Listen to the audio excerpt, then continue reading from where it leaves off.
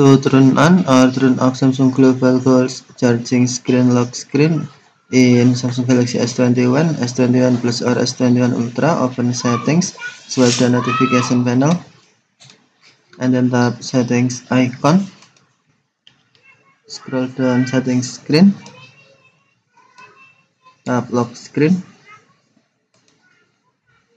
and then select wallpaper services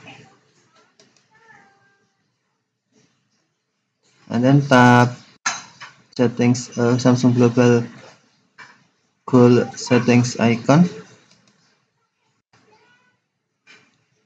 Select Global Goal charging screen. To turn on.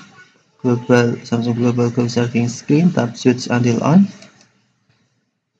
Allow permission for Samsung Global Goals allow permission for the Samsung Global Goals app to be shown over other apps. This will allow you to support the global goals while using other apps. Tap OK if you sure.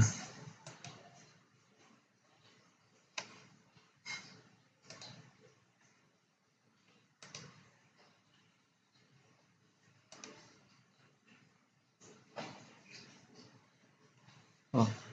Tap Samsung Global Goal Switch until blue to turn on. Tap switch until gray to turn off. Thanks you.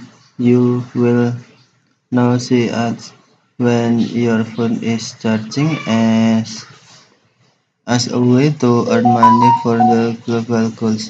You can manage this in the app settings tab close. And then if you want to turn off tap switch until off.